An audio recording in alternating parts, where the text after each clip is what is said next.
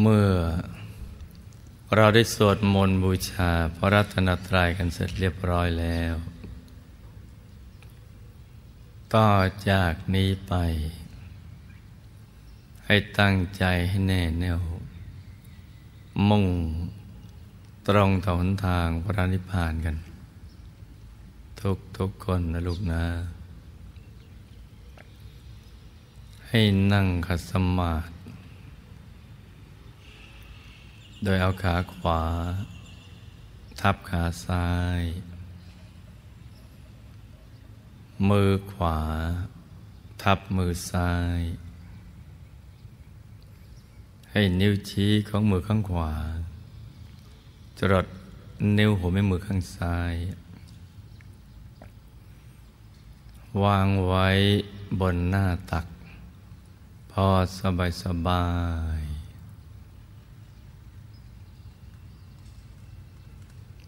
หลับตาของเราเบาๆ หลับตาคลอดลูก พอสบายสบายคล้ายๆกับตอนที่ เราใกล้จะหลับ อย่าไปบีบเปลือกตา อย่ากดลูกในตา แล้วก็ทำใจของเรานะให้เบิกบาน ให้แจ่มชื่น ให้สะอาดบริสุทธิ์ผ่องใส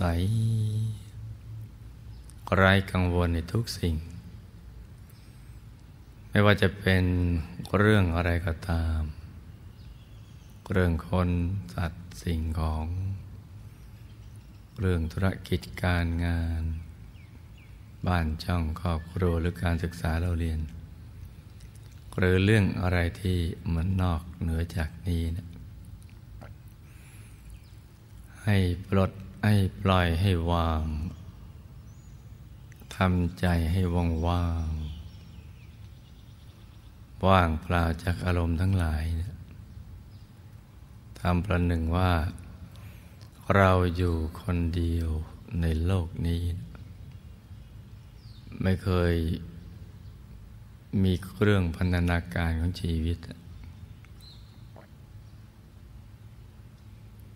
ให้ใจว่างๆ เบิกบานแจ่มชื่น แล้วเราก็มาสมมุติว่า ภายในร่างกายของเรานั้นนะ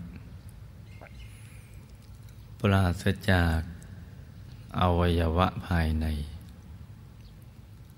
สมมติว่าไม่มีปอดตับม้ามไตหัวใจเป็นต้น ให้ภายในร่างกายของเรา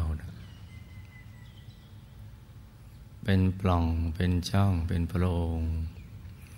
เป็นที่โล่งๆว่างๆคล้ายลูกโป่งที่เราอัดลมเข้าไป หรือ คลายท่อแก้วใส ๆ ให้เป็นปล่องเป็นช่องเป็นโพรง เป็นที่โล่งๆว่างๆ กลวงภายในคล้ายท่อแก้ว ท่อเพชรใสใส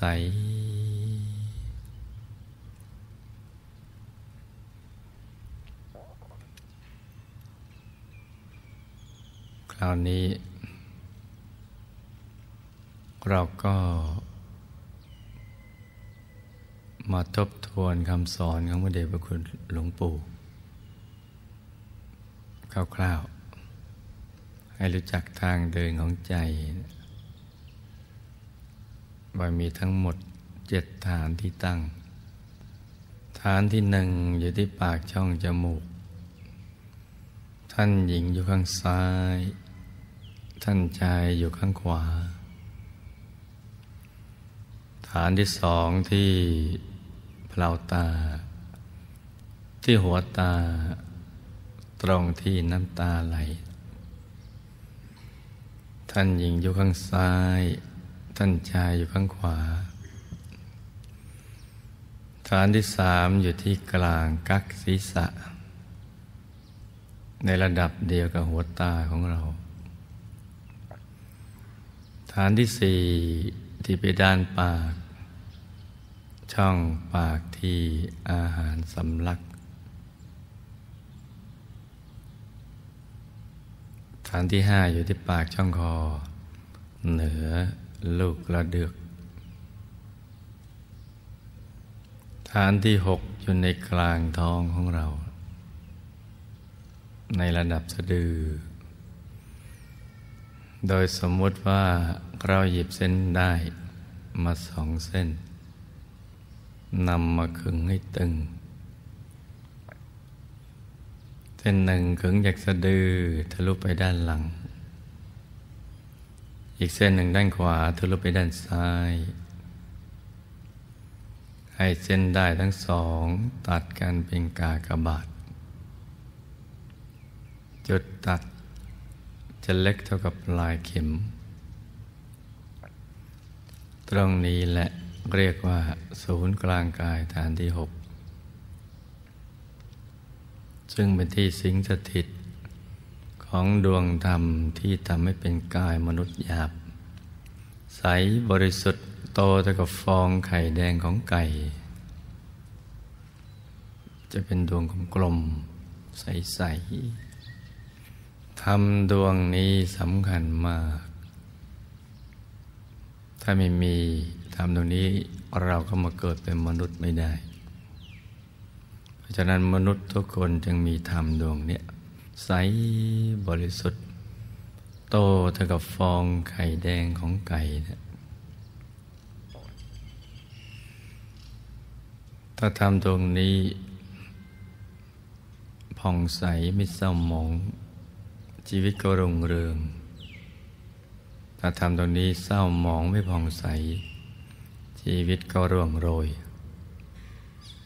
ถ้าทำตรงนี้ดับไป ชีวิตก็จะดับตามไปด้วยธรรมที่ทำให้เป็นกายมนุษย์หยาบอยู่ตรงนี้ ใสบริสุทธิ์โตแต่ก็ฟองไข่แดงของไก่อยู่ตรงเนี้ยใส ฐานที่เจ็ดอยู่เหนือ ฐานที่หกขึ้นมาสองนิ้วมือ โดยสมมติว่าอารชี้กับนิ้วกลางมาวางซ้อนกัน แล้วนำไปทาบตรงจุดตัดกองเส้นได้ทั้งสอง สูงขึ้นมาสองนิ้วมือ ตรงนี้เรียกว่าศูนย์กลางกายฐานที่เจ็ดเพราะฉะนั้นเราก็ต้องรู้จัก ทางเดินของใจเจ็ดฐานนี้มีความสำคัญทุกฐาน แต่ฐานที่เจ็ดนี้สำคัญมาก เป็นที่เกิดที่ดับที่หลับแล้วก็ที่ตื่น เกิดก็เกิดตรงนี้ ดับตรงนี้ ตื่นตรงนี้หลับตรงนี้ เกิดดับหลับตื่น ตรงนี้ทั้งนั้นเลย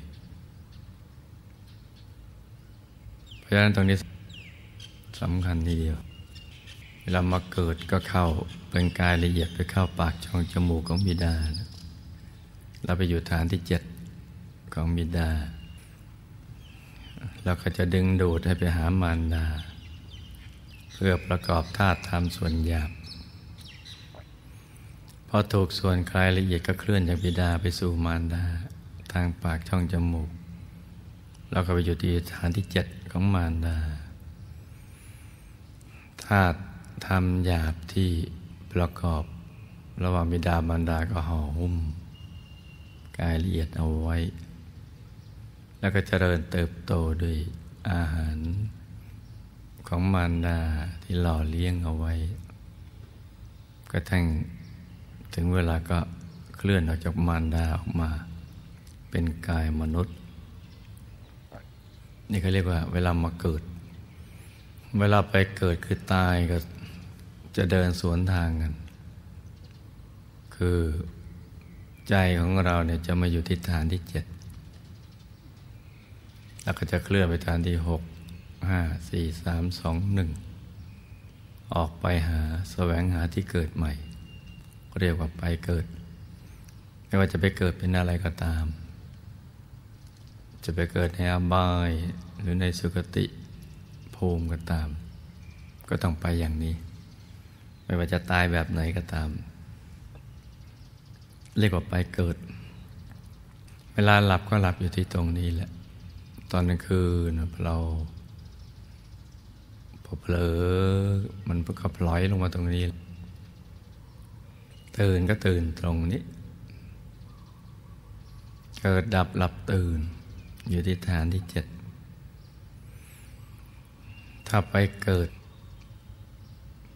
ก็จะต้องเดินนอกออกไปพระเดชพระคุณหลวงปู่พระมงคลเทพมุนีสดจันทสโรบุคคลพระวิชาธรรมกายท่านสอนเอาไว้ ว่าจะไปเกิดแบบสัตว์โลกทั่วไปก็จะต้อง เดินคือใจก็จะเคลื่อนจาก ฐานที่เจ็ดอกห้าสี่สามสองหนึ่งดังกล่าว แต่ถ้าจะไม่ไปเกิด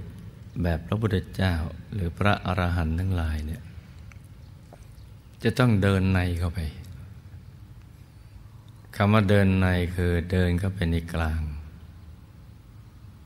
แต่คำว่าเดินเข้าไปในกลางนั้นไม่ได้ใช้ขาเดิน จะใช้ใจที่หยุดนิ่งสนิทที่ศูนย์กลางกายฐานจิตที่เจ็ดตรงเนี้ย ใจที่แวบไปแวบมานะมาหยุดตรงนี้หยุดนิ่งจนกระทั่งมันปล่อยวางอย่างอื่นทั้งหมด ไม่ผูกพันกับคนสัตว์สิ่งของ มันก็จะมาหยุดอยู่ที่ตรงนี้ หยุดนิ่งๆพอถูกส่วนก็จะตกศูนย์ไปที่ฐานที่หกแล้วลอยขึ้นมาเกิด จะมีดวงลอยขึ้นมา อย่างเล็กขนาดดวงดาวในอากาศ อย่างกลางก็ขนาดพระจันทร์ในคืนวันเพ็ญอย่างใหญ่ก็ขนาดพระอาทิตย์ยามเที่ยงวัน หรือใหญ่กว่านั้น และแต่บารมีของแต่ละคนที่ไม่เท่ากัน แต่จะขนาดไหนก็ตามที่ลอยขึ้นมาเมื่อตกศูนย์แล้ว ตกศูนย์เหมือนหล่นลงมาจากที่สูงวุบลงไปเหมือนเรานั่งรถเร็วๆลงจากสะพานมึงหรืออยู่ที่สูงโดดน้ำวุบลงไปหรือขึ้นเครื่องบินแล้วเปิดประตู โดดมาโดยไม่มีร่มกลางกันมันวึดลงไปแล้วดวงเหล่านี้จะลอยขึ้นมา เอง ดวงธรรมดวงนี้เนี่ยพระเดชพระคุณหลวงปู่ของเราท่าน เรียกว่าดวงธรรมานุปัสสนาสติปัฏฐาน หรือดวงปฐมมรรคแปลว่าหนทางเบื้องต้นที่จะไปสู่อายตนะนิพพาน เป็นจุดเริ่มต้น จะปฏิบัติธรรมแบบไหนก็ตาม ถ้าทำดวงนี้ยังไม่บังเกิดขึ้น ก็แปลว่ายังไม่พบต้นทางที่จะไปสู่อายตนะนิพพาน เมื่อไม่พบต้นทางก็แปลว่าไปไม่ถูก หรือไปไม่ได้งั้นมันก็จะจะแลบไปที่นู่นที่นี่ เพราะนั้นเบื้องต้นตั้งใดทำดวงเนี้ยเรียกธรรมานุปัสสนาสิปัฏฐานหรือดวงปฐมมรรคซึ่งจะมาพร้อมกับความสุข ความบริสุทธิ์ และความรอบรู้ เข้าใจว่าจะดำเนินชีวิตอย่างไร ถึงจะมีคุณค่ามีสาระมีแก่นสาร โดยใจจะหยุดนิ่ง ๆ อยู่ในกลางดวงนี้ หยุดนิ่ง แล้วก็จะเคลื่อนเข้าไปข้างใน เคลื่อนเข้าไปข้างใน ที่เรียกว่า ที่เราเคยได้ยินว่าไตสรณคมคำมณะแปลว่าเคลื่อนเข้าไป เข้าไปเพื่อให้ถึงรัตนะทั้งสามภายในเมื่อใจนิ่งแล้วมันก็จะขยาย ดวงธรรมนี่จะขยาย แล้วก็จะเห็นดวงธรรมถัดๆไป ซึ่งมีชื่อเรียกว่าดวงศีล ดวงสมาธิ ดวงปัญญาดวงวิมุตติ แล้วก็ดวงวิมุตติญาณทัศนะ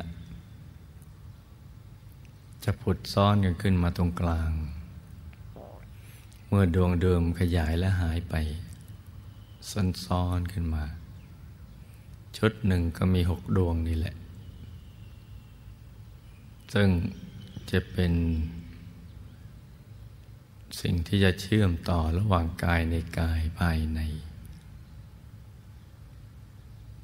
แล้วก็จะเป็นเครื่องกลั่นใจให้ใสๆให้บริสุทธิ์ ยิ่งบริสุทธิ์ก็หลุดพ้นก็ยิ่งเคลื่อนก็ไม่ได้เร็วแรงขึ้น ก็จะเข้าไปถึงกายในกายทั้งมีทั้งหมด 18 กายรวมทั้งกายหยาบ กายภายในก็จะมีกายมนุษย์ละเอียด ที่มีลักษณะเหมือนกับตัวเรา ท่านหญิงเหมือนกับท่านหญิง ท่านชายก็เหมือนกับท่านชายนะแต่ว่าดูสดใสกว่า จะอยู่ในอริยบทนั่งสมาธิ สงบนิ่งอยู่ภายใน กายนี้เรียกว่ากายฝันก็ได้ เรียกว่ากายไปเกิดมาเกิดก็ได้ กายมนุษย์ละเอียดก็ได้ กายฝัน ที่เราเรานอนหลับแล้วฝันไปกับกายนี้แหละ ออกไปทำในที่ฝัน แล้วในกลางกายนี้ก็จะมีกายต่าง ๆซ้อนกันอยู่ มีกายทิพย์หยาบกายทิพย์ละเอียด กายรูปภพหยาบกายรูปภพละเอียด จะซ้อนๆกันเข้าไปภายใน กายอารูปพรมหยาบอรูปพรมละเอียด กายธรรมโคตภูหยาบโคตภูละเอียด กายธรรมปโสดาบัญหยาบกายธรรมปโสดาบันละเอียด กายธรรมพระสกิทาคามีหยาบกายธรรมพระสกิทาคามีละเอียด กายธรรมพระอนาคามีหยาบกายธรรมพระอนาคามีละเอียด กายธรรมพระรหัสหยาบ กายธรรมพระอรหัตละเอียดจะซ้อนซ้อนซ้อนซ้อนกันเข้าไปข้างใน โดยกายที่ละเอียดกว่าจะซ่อนอยู่ที่ ในกลางกายที่หยาบกว่า กายที่ละเอียดกว่าจะบริสุทธิ์กว่าและโตใหญ่กว่า จะซ้อนซ้อนกันเข้าไปภายใน ซึ่งจะแบ่งกายเป็นสองภาค คือกายที่ตกอยู่ในไตรลักษณ์กายที่ยังมีการเปลี่ยนแปลงได้ไม่คงที่ ไม่เป็นอิสระ ไม่เป็นตัวของตัวเอง ยังตกอยู่ภายใต้กฎแห่งกรรม กฎแห่งการกระทำก็มีกายมนุษย์หยาบละเอียดทิพย์หยาบละเอียด พรหมหยาบละเอียด แล้วก็อรูปภพหยาบละเอียด เป็นกายอยู่ในภพทั้งสามส่วนกายที่พ้นจากไตรลักษณ์คือกายธรรม เป็นตัวพระรัตนตรัย กายพุทธรัตนะ ที่มีลักษณะเป็นพระนั่นแหละ ประกอบด้วยลักษณะมหาบุรุษครบถ้วนทุกประการ งามไม่มีทิฏฐิจะมีเกศดอกบัวตูมเหมือนดอกบัวสัตบงกฎขนาดไม่ใหญ่ไม่เล็ก ตั้งอยู่บนจอมกระหม่อม ซึ่งเป็นลักษณะพิเศษของท่าน บนพระเศียรที่มีเส้นพระศกคือเส้นผม ที่ขดเวียนเป็นทักษิณาวัดตามเข็มนาฬิกา เรียงรายอย่างเป็นระเบียบ ตั้งอยู่บนพระบรากายของท่าน ที่งามไม่มีทิฏฐิเลยเราได้ลักษณะมหาบุรุษครบถ้วนทุกประการ เป็นกายผู้รู้ผู้ตื่น ผู้เบิกบานแล้ว เป็นกายตัดสรูธรรม ที่มีธรรมจักขุ มีญาณทัศนะ มีปัญญาวิชาแสงสว่าง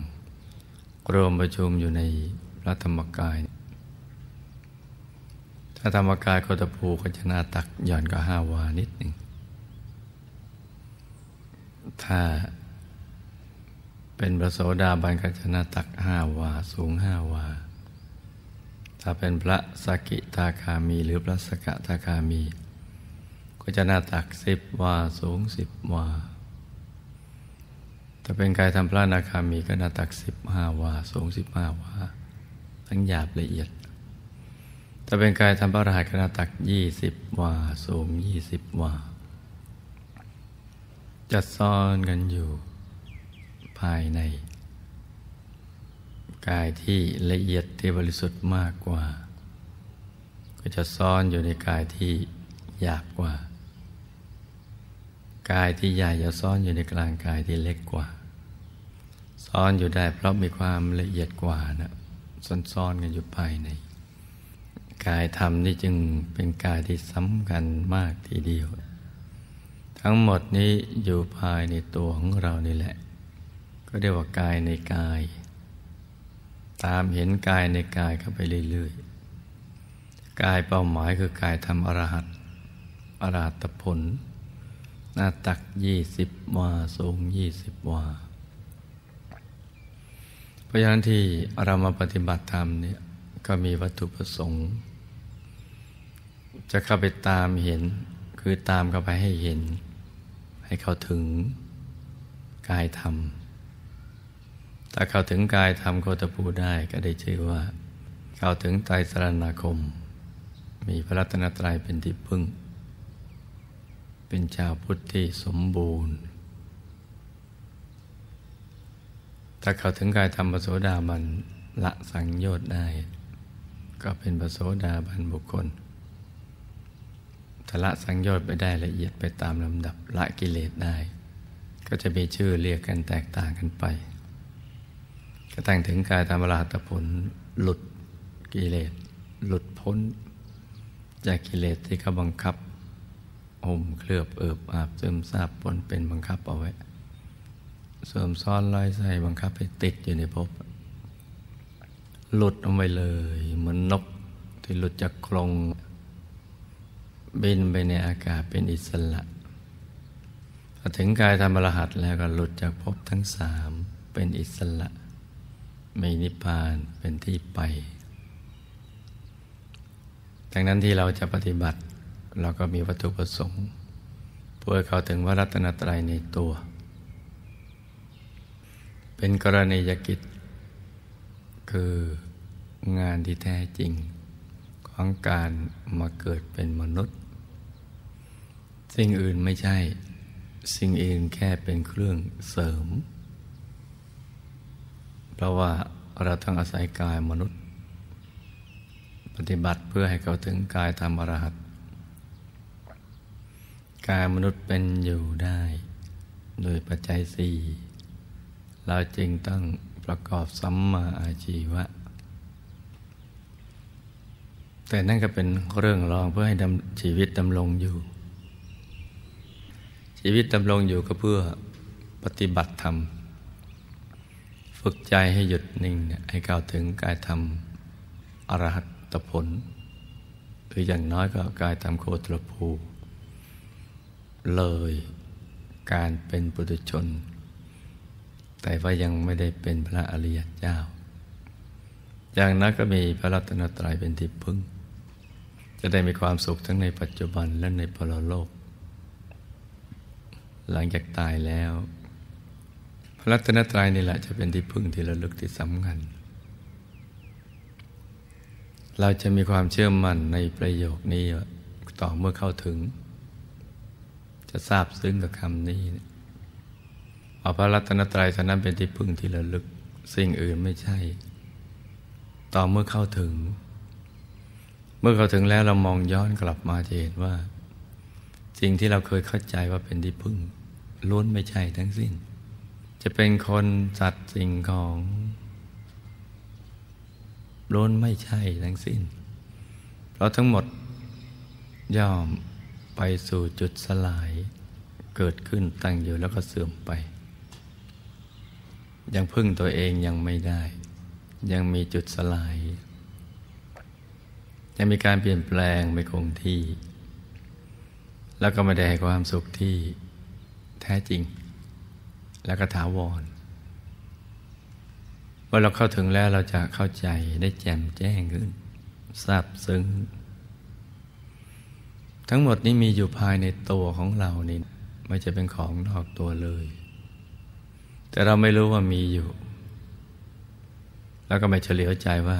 มีสิ่งนี้อยู่ กับไม่ขวนขวายที่จะแสวงหาความรู้อย่างนี้ หรือรู้แล้วก็ไม่ได้มีความตั้งใจปฏิบัติกันอย่างจริงจัง จึงยังไม่รู้จักอย่างแท้จริงเพราะรัตนตรัยนี่แหละเป็นที่พึ่ง สิ่งอื่นไม่ใช่ สิ่งอื่นต้องผุพัง จะเป็นเทพเจ้าจะเป็นอะไรก็แล้วแต่ล้วนแต่ตกอยู่ในใจรัก ไม่เที่ยงเป็นทุกข์เป็นอนัตตา ไปสู่จุดสลาย ยกเว้นว่าเราจะตั้งสมมติฐานเลื่อนลอย ถึงเทพเจ้า องค์ใดองค์หนึ่งว่า เป็นอมตะ มันก็เหมือนกับชายหนุ่มหญิงสาว ชายหนุ่มที่ฝันเห็นหญิงสาว ที่ข้ามกลนหาหญิงสาวในฝันซึ่งไม่มีจริง หรือหญิงสาว ข้ามกลวนหาชายหนุ่มในฝันที่ไม่มีจริง ซึ่งไม่เกิดประโยชน์อะไร แต่พระรัตนตรัยในตัวนี่แหละ เป็นที่พึ่งที่แท้จริงคำนี้ไม่เลื่อนลอย แต่ว่าเป็นหลัก เป็นแก่นของใจของชีวิต ของทุกๆชีวิต แต่เราไม่รู้จักแต่นั้นแหละ เพราะยังเข้าไม่ถึงแต่เข้าถึงได้แล้วเราถึงจะเข้าใจว่า สิ่งอื่นไม่ใช่ ไมีแค่พระพุทธพระธรรมพระสงฆ์เท่านั้น พุทธรัตนะ ธรรมรัตนะ สังฆรัตนะ มีคำว่ารัตนะ เสริมมาตรงท้ายก็แปลว่า แก้ว หรือหินมีค่า อย่างเช่นเพชรนินยินดาอย่างนั้น แต่ว่ารัตนะเหล่าใดทั้งในโลกนี้ และในเทวโลก ในสวรรค์ ในพรหมหรืออรูปภพสู้รัตนะคือพุทธธรรมสังฆไม่ได้เลย พุทธรัตนะนั้นมีคุณค่ามหาศาลธรรมรัตนะ สังฆรัตนะ มีคุณค่ามากกว่านั้น รัตนะในโลกนี้ก็ยังมีผุมีพังมีเสื่อมสลาย ไม่ว่าจะรัตนะชั้นหนึ่ง เหมือนทับทิมที่สวยๆ เอาน้ำใส่ในอ่างตั้งไว้กลางแดด เอาทับทิมวางเอาไว้กระทบแสง กระจายแสงทำให้อ่างน้ำเป็นสีแดงได้ ถึงจะเลิศประเสริฐยังไงกับผุพัง ก็ต้องมีวันเสื่อมสลาย รัตนะในเทวโลกมีแสงในตัวเอง ในสวรรค์ในอนุภาพแห่งบุญ ก็ยังมีวันเสื่อมสลายเมื่อกำลังบุญของเจ้าของนั้นหมดไป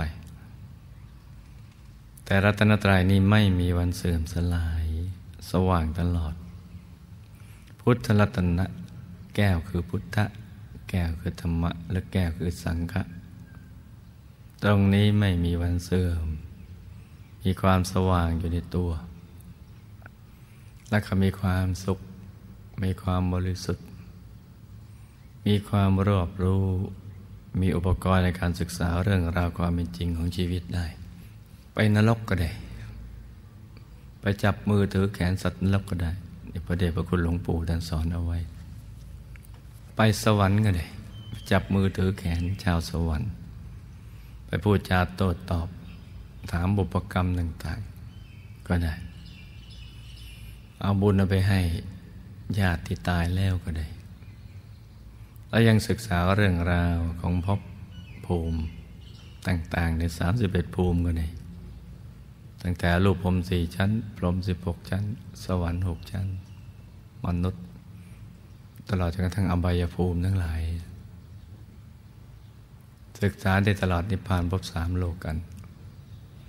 เราว่าพุทธรัตนะมีธรรมจักขุเห็นได้รอบตัว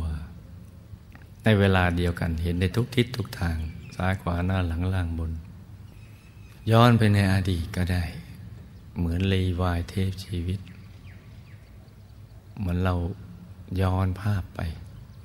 ก่อนจะมาเกิดมาจากไหน สาวไปเรื่อยๆ มองย้อนลงไป หรือศึกษาเรื่องจุดตูปปฏิญาณพบภูมิ ของสัตว์โลกว่าประกอบเหตุอย่างนี้จะไปมีผลอย่างไร ทั้งในปรโลกเราตอนกลับมาเป็นมนุษย์จะมีผลอย่างไร จะเห็นการถ่ายเทเปลี่ยนแปลง ของแต่ละชีวิตที่ขึ้นอยู่กับการกระทำทางกายวาจาและใจ เมื่อบุญบาปบังคับให้กระทำกันไปอย่างนั้น ธรรมจักขุของพุทธรัตนะมองตลอดได้ แม้กระทั่งอะไรเป็นสาเหตุแห่งความทุกข์ มันมาจากตรงไหน วิชาสามเกิดขึ้นได้เมื่อมีพุทธเมื่อเขาถึงพุทธรัตนะธรรมรัตนะ สังฆรัตนะ สิ่งทั้งหมดเหล่านี้มีอยู่ในตัวมนุษย์ทุกคน มีอยู่ในตัวลูกๆทุกคน ที่มานั่งธรรมะในวันนี้ เพราะฉะนั้นนี่คือกรณียกิจเป็นกิจที่ควรกระทำเป็นงานที่แท้จริงของเรา ที่เราได้มาเกิดมาเป็นมนุษย์ ชีวิตของนักบวชมีโอกาสที่มากกว่าชีวิตของญาติโยม เพราะปลอดกังวล ไม่ต้องทำมาหากิน มีเวลาว่าง ไม่มีพันธนาการของชีวิต ยกเว้นไปไปหามาเท่านั้นแหละ แต่ความเป็นจริงเป้าหมายของนักบวชนั้น เราคืออดีตของครหัสได้อิ่มตัวในของเพศครหัสแล้ว เพื่อต้องการโอกาสว่างสำหรับแสวงหาสิ่งที่เลิศไปกว่านนั้น คืออริยทรัพย์ภายใน อริยทรัพย์ภายในก็คือพระรัตนตรัยในตัวนี่เอง เพราะฉะนั้นเนี่ยนี่คือวัตถุประสงค์หลัก เช่นเดียวกับญาติโยม ที่แม้จะมีภารกิจ เป็นพันธนาการของชีวิต ก็ต้องทำให้เศรษฐกิจและจิตใจไปด้วยกัน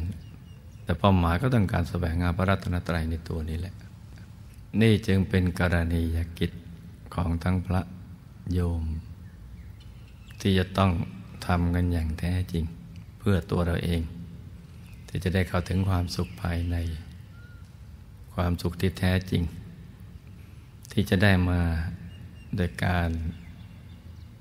ทำใจให้เป็นสมาธิ ให้ใจมันหยุดมันนิ่งอย่างนี้เท่านั้นแหละ จะเป็นความสุขที่ยิ่งใหญ่ ที่ไม่มีอะไรมาเทียบได้ จะรู้จักเมื่อ ใจเป็นสมาธิ หยุดนิ่งไม่เคยเยื่อนเลย สงัดจากกามจากบาปอากุศลธรรมทั้งหลาย ละวิตกวิจาร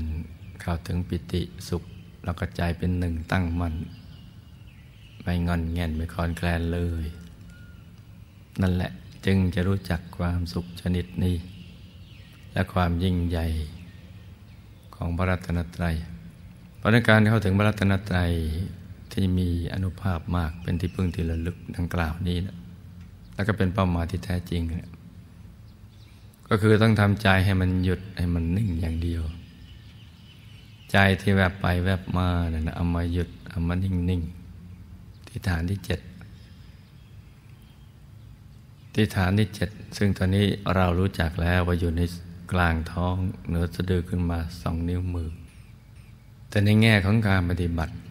เราอย่าไปกังวลกับฐานที่เจ็ดมากเกินไป คิดแค่เพียงว่าเอาใจมาไว้ในกลางท้องอย่างสบายๆแล้วก็กำหนดบริกรรมนิมิตขึ้นมา เพื่อเป็นหลักยึดของใจไม่ให้ฟุ้งไปคิดเรื่องอื่น แล้วก็นึกเป็นภาพว่าในท้องเราเนี่ยมีดวงแก้วใสๆ หรือพระแก้วใส ๆ อย่างใดอย่างหนึ่งนะลูกนะ เอาอย่างเดียว ไม่ชัดไม่เป็นไร วัตถุประสงค์เราต้องการให้ใจมาอยู่ในกลางท้อง หลังจากที่มันเตลิดเปิดเปิงไปข้างนอก ให้มาหยุดมันนิ่งตรงนี้ เมื่อพระรัตนตรัยอยู่ในตัว เราก็ต้องหาในตัว โดยการหยุดนิ่งในตัวเรานะในกลางกาย เมื่อพระรัตนตรัยสิงสติติฐานที่เจ็ดใจเราก็จะต้องมาอยู่ที่ฐานที่เจ็ดเมื่อเราอยากจะดูอะไรเราก็ต้องส่องกล้องไปดูทางนั้น ในทิศทางที่มีอยู่ ใจต้องมาหยุดอยู่ที่ตรงนี้ นึกเป็นภาพ สมมุติเอาเพื่อ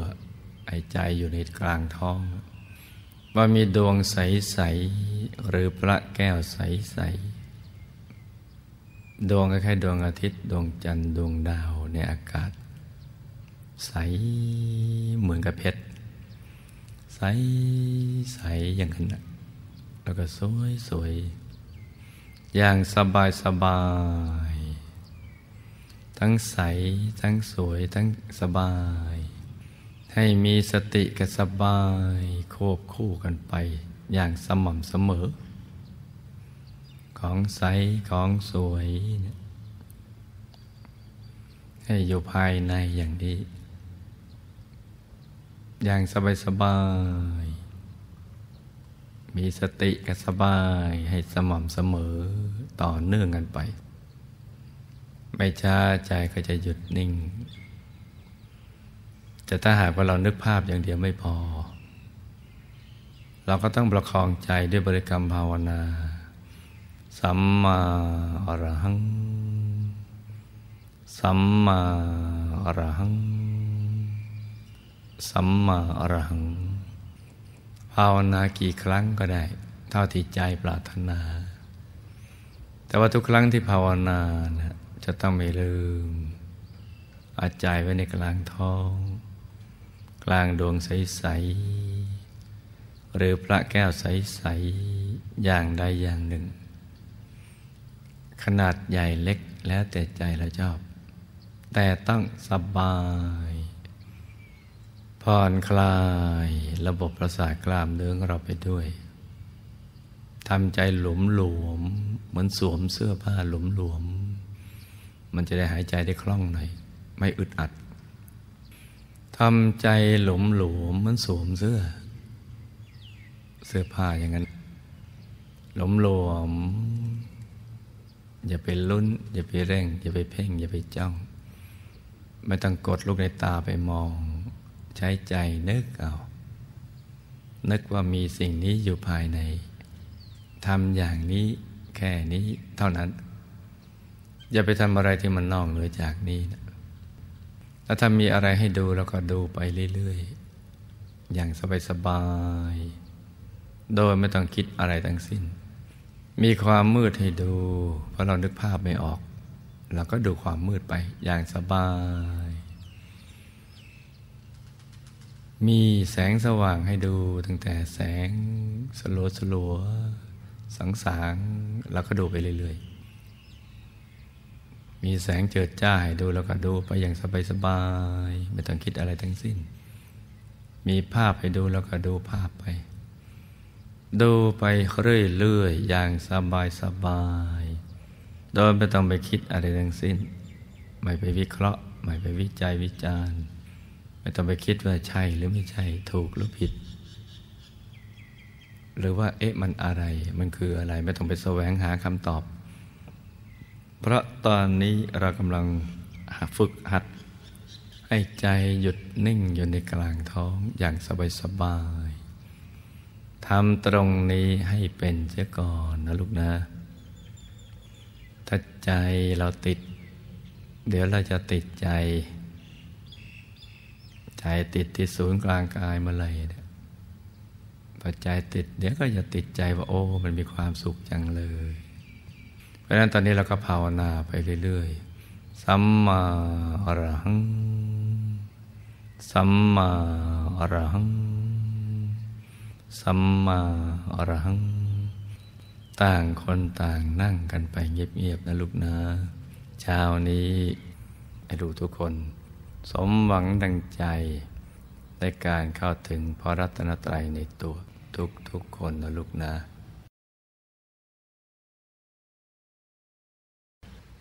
มื่อเราสวดมนต์บูชาพระรัตนตรัยกันเสร็จเรียบร้อยแล้วต่อจากนี้ไป เราจะได้มาพร้อมใจกัน ตั้งใจให้แน่แน่วมุ่งตรงต่อหนทางประนิพพานกันทุกๆคนนะลูกนะ ให้นั่งขัดสมาธิโดยเอาขาขวา ทับขาซ้าย มือขวา ทับมือซ้าย ให้นิ้วชี้ของมือข้างขวา ตรดนิ้วหัวแม่มือข้างซ้าย วางไว้บนหน้าตัก พอสบายสบายตอนนั่งขัดสมาธิสองชั้นไม่ได้ก็นั่งชั้นเดียว หลับตาของเราเบาๆ พอสบายสบาย หลับตาค่อนลูก พอสบายสบาย ค ล้ายๆกับเรา ใกล้จะหลับ อย่าไปบีบเปลือกตา อย่ากดลูกในตานะหลับพอสบายสบาย แล้วก็ผ่อนคลายกล้ามเนื้อทุกส่วนของร่างกายของเรา นั่งให้สบายสบายนะอย่าให้มีส่วนใดส่วนหนึ่งของร่างกายเรา มันเกร็งหรือมันตึง ให้ผ่อนคลาย แล้วก็ทำใจของเราให้เบิกบาน ให้แช่มชื่น ให้สะอาดบริสุทธิ์ผ่องใส ไร้กังวลในทุกสิ่ง ไม่ว่าจะเป็นเรื่องอะไรก็ตาม เรื่องธุรกิจการงาน เรื่องครอบครัว เรื่องการศึกษาเล่าเรียน เรื่องคนสัตว์สิ่งของหรือเรื่องอะไรที่มันนอกเหนือจากนี้ ให้ตัดใจไปเลย ฝึกเอาไว้ ให้ปลด ให้ปล่อย ให้วางทำใจให้มันว่างว่างให้ปลด ให้ปล่อย ให้วาง ไม่ผูกพันกับสิ่งใด ๆ ทั้งสิ้น ในโลกนี้ทำประหนึ่งว่า เราไม่เคยมีเครื่องพันธนาการของชีวิตมาก่อน เหมือนเราอยู่คนเดียวในโลกนะจ๊ะ ปลดปล่อยวาง สบาย แล้วก็ผ่อนคลาย คราวนี้เราก็มาสมมุติว่า ภายในร่างกายของเรานั้นนะ่ะปราศจากอวัยวะ สมมติว่าไม่มีปอดตับม้ามไตหัวใจเป็นต้น ให้เป็นที่โล่งๆว่างๆกลวงภายใน เป็นปล่องเป็นช่อง เป็นโพรง เป็นที่โล่งโล่งว่างว่างกลวงภายใน คล้ายๆกับ ลูกโป่งที่เราเป่าลมอัดลมเข้าไปนะหรือคล้ายๆท่อแก้ว ท่อเพชรใสใสให้เป็นปล่องเป็นช่องเป็นโพรงไป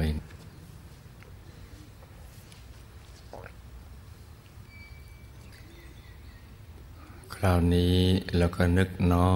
มใจของเรานะมาตั้งมั่นไว้ ที่ศูนย์กลางกาย ฐานที่เจ็ด ซึ่งอยู่ในกลางท้องของเรานะ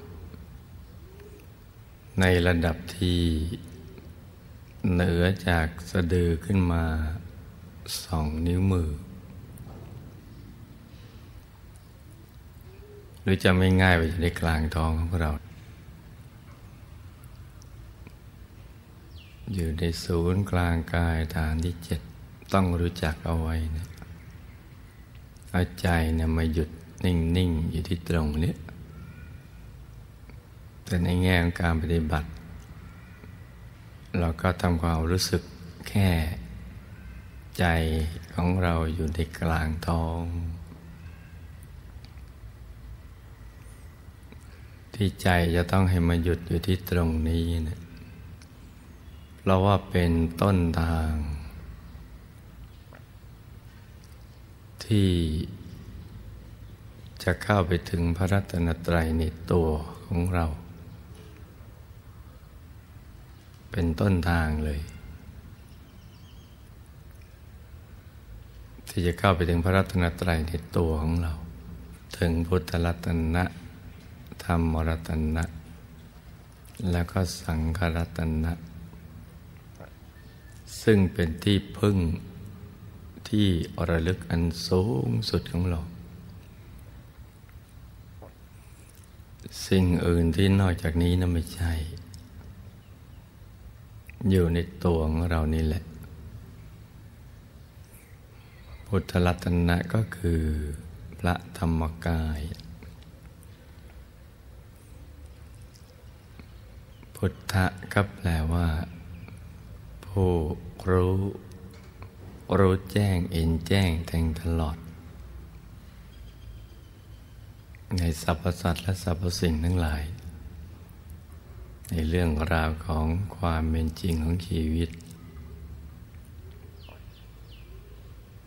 เป็นผู้รู้ผู้ตื่นผู้เบิกบานแล้ว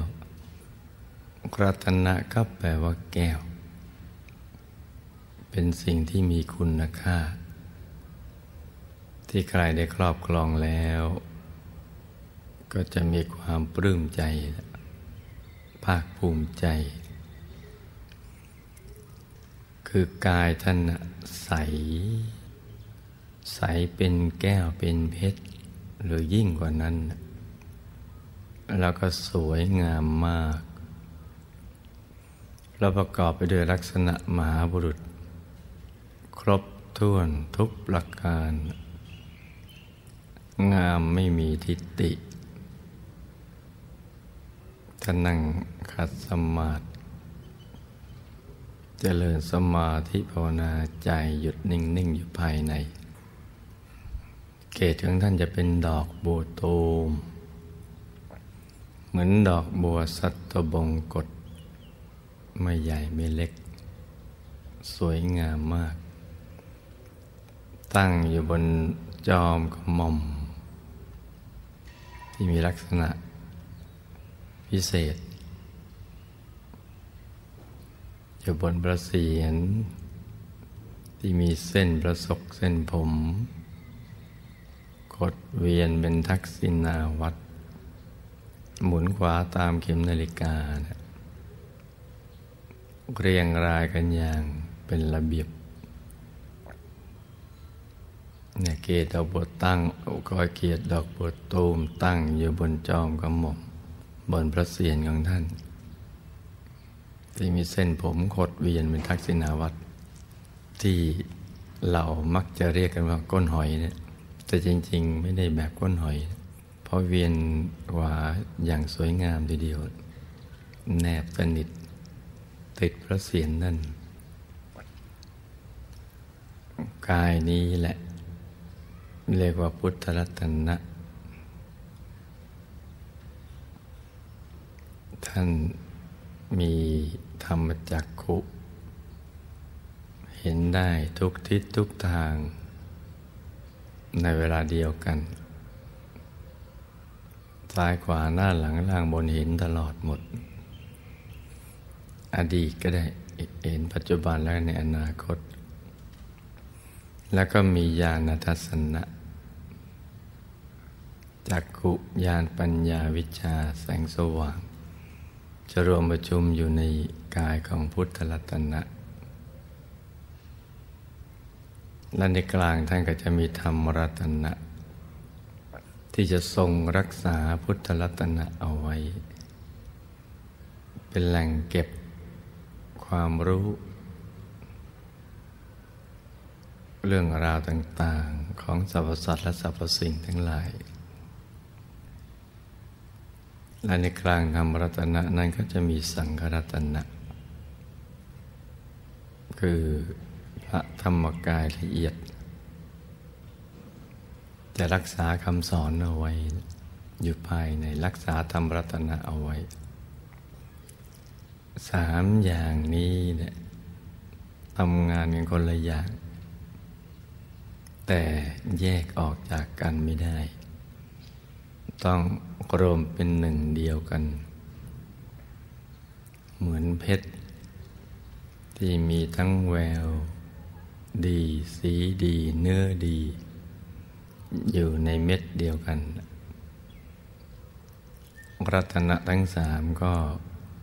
รวมประชุมอย่างนี้ นี่คือที่พึ่งที่ระลึกของเรา เพราะว่าท่านเป็นแหล่งแห่งความสุขที่แท้จริง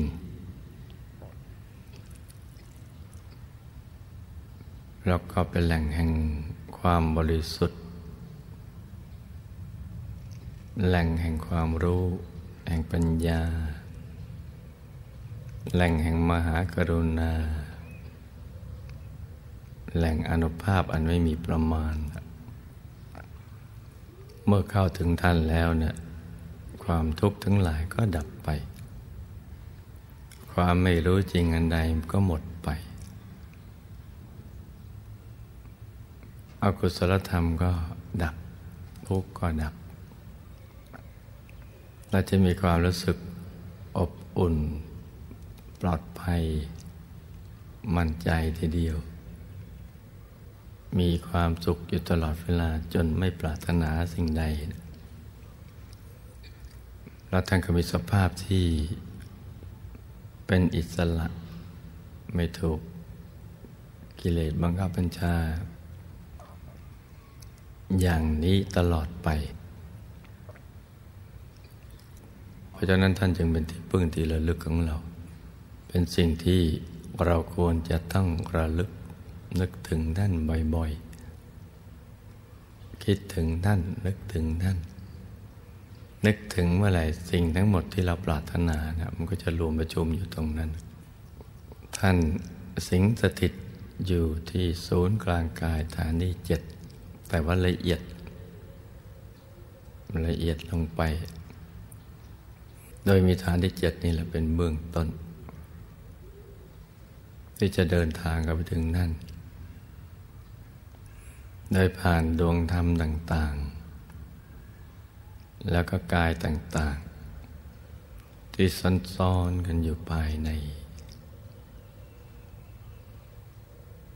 ตั้งแต่กายมนุษย์ละเอียด ที่มีรูปร่างเหมือนตัวเรา บางทีก็เรียกว่ากายฝัน หรือกายไปเกิดมาเกิด ในกลางกายมนุษย์ละเอียดก็จะมีกายทิพย์กายทิพย์ทั้งหยาบทั้งละเอียดซ้อนกันอยู่ ในกลางกายทิพย์ก็จะมีกายพรหมทั้งหยาบทั้งละเอียด ในกลางกายพรมก็จะมีกายอรูปพรม ทั้งหยาบละเอียดซ้อนๆกัน ในกลางกายอารูปพรมก็จะมีกายธรรมนี่แหละ ที่เป็นตัวพุทธรัตนะ แต่พุทธรัตนะก็มีหลายหลายระดับ มีทั้งแต่กายธรรมโคตรภูกายธรรมโสดาบันกายธรรมระสกิทาคามี แล้วก็กายธรรมพระอรหัตทั้งหยาบละเอียดซ้อนๆกันอยู่ภายใน กายสุดท้ายคือเป้าหมายของชีวิต คือกายทำอราธผล เพราะว่าพ้นจากกิเลสอาสวะทั้งหลาย ที่บังคับบัญชากันอยู่ แต่ละกายก็จะถูกเชื่อมด้วยดวงธรรมต่างๆ ชุดหนึ่งก็มีหกดวง มีดวงธรรมานุปัสสนาสติปัฏฐานและดวงปฐมมรรค มีดวงศีลสมาธิ ดวงปัญญา ดวงวิมุตติ แล้วก็ดวงวิมุตติญาณทัศนะ ชุดหนึ่งหกดวง จะซ้อนๆกัน จะเชื่อม กายต่อกาย ทุกๆกายนี่เป็นความอัศจรรย์ในพระพุทธศาสนา ที่พระสัมมาสัมพุทธเจ้าท่านเป็นคนพบ ไม่มีอยู่ในคำสอนอื่น เพราะเข้ากันไม่ถึงนะ สอนกันแต่เพลินๆกับตั้งสมมติฐานเลื่อนลอย เลื่อนลอยเมื่อชีวิตตัวมีทุกข์ก็สมมติฐานถึงเทพเจ้า สมมุติว่าองค์ใดองค์หนึ่ง เป็นผู้สร้างสรรพสิ่งสูงสุด มีอนุภาพไม่มีประมาณ มีปัญญาไม่มีประมาณ อะไรอย่างนี้เป็นต้นก็สมมติฐานกันไป แต่ไม่เคยเข้าถึงแล้วก็บอกว่าเข้าถึงไม่ได้ ไม่มีใครสามารถไปถึงได้ มันก็เลื่อนลอย แต่คำสอนในพระพุทธศาสนาต้องเข้าถึงได้ ไม่ต้องผ่านใครตั้งถึงได้ด้วยตัวเองด้วยเป็นปัจจัตตัง ถึงด้วยตัวเอง กายต่างๆ และดวงธรรมต่าง ๆ นี้เนะี่ยมันมีอยู่แล้วดั้งเดิมเขาเรียกว่าตัทตาตัทตา มีอยู่แล้วมันเป็นอย่างนั้นอยู่แล้วนะแต่พระสัมมาสัมพุทธเจ้าของเราท่านเป็นคนพบ โดยการทำใจให้หยุดให้นิ่งนิ่งภายใน หลังจากได้ใช้วิธีการต่าง ๆ มาแล้ว ตามที่ครูบาอาจารย์สมัยนั้น ท่านได้เข้าถึงและสั่งสอน แต่ว่ามันไม่พ้นทุกข์อย่างดับทุกข์โดยสมบูรณ์ไม่ได้ มันแค่ได้สูงสุดคือกดกลบทุกข์ไปเหมือนหินทับหญ้า คือหินก้อนใหญ่ทับหญ้า หญ้าไม่งอก แต่ไม่ตายคือสงอย่างมากก็ได้แก่อารูปฌานสมาบัติคือได้สมาบัติแปดเท่านั้น ที่มีสูงที่สุดในยุคนั้น บางพวกก็สุดโต่งไปอีกแบบหนึ่ง คือ ทำตัวให้พัวพันกับกามสุขอะไรต่าง ๆ เหล่านั้น ท่านได้ผ่านการฝึกมาในทุก ๆ ด้าน ทั้งการทรมานตน ทั้งการทำตามใจของกิเลส และทั้งการปฏิบัติทำใจนิ่ง ๆ ได้อย่างมากก็ได้แค่สมาบัติแปด แต่ก็ดับทุกข์ไม่ได้ เพราะทั้งหมดยังวนอยู่ในทุกข์อยู่ในภพสาม กระทั่งท่านปลดปล่อยทุกๆวิธีการ ที่ท่านศึกษามา ท่านทิ้งไปเลยวางเอาไว้ก่อนชั่วคราว วางเอาไว้บนหิ้ง แล้วก็เอาความนิ่งไว้ในใจ ท่านก็หยุดใจนิ่ง นิ่งที่ศูนย์กลางกายฐานที่เจ็ดเมื่อใจเนี่ยไม่ผูกพันกับสิ่งใดมันก็นิ่ง ไม่ผูกพันในคนในสัตว์ในสิ่งของในสมมุติฐานเลื่อนลอย ในเรื่องราวอะไรต่างๆ ที่ท่านผ่านมา ใจมันก็นิ่งพอใจนิ่งถูกส่วนเขาตอนนั้น มันเคลื่อนเข้าไปสู่ภายใน เวลาใจนิ่งมันจะเคลื่อน แต่ก่อนจะเคลื่อนเนี่ยมันทิ้ง ทิ้งทุกสิ่งแม้กระทั่งกายหยาบ คือความรู้สึกว่ามีกายหยาบเนี่ยมันหมดไป มันหายไป เหมือนไม่มีตัวตน และใจก็จะตกศูนย์วุบลงไป ตกศูนย์เหมือนหล่นลงไป จากที่สูงลงเข้าไปข้างในคล้ายๆเราขับรถเร็วๆขึ้นสะพานสูงๆแล้วลงมุดลงไปหรือเราโดดน้ำนะยืนอยู่บนปลายไม้กระดก โดดวุดลงไปหรือขึ้นเครื่องบินเปิดประตูเครื่องโดดลงมา โดยไม่มีล่มกลาง แต่ก็ไม่ได้รุนแรงถึงขนาดนั้น มันเป็นการเคลื่อนเข้าไปสู่ภายใน นั่นเป็นเพียงข้ออุปมา ใจก็จะตกศูนย์เราก็จะมีดวงธรรมนะลอยขึ้นมา มาอยู่ที่ฐานที่เจ็ด ตอนนี้แหละเราจะเห็นฐานที่เจ็ดชัด ชัดเจนเมื่อใจนิ่งนิ่งได้ถูกส่วนแล้ว ต้องถูกส่วน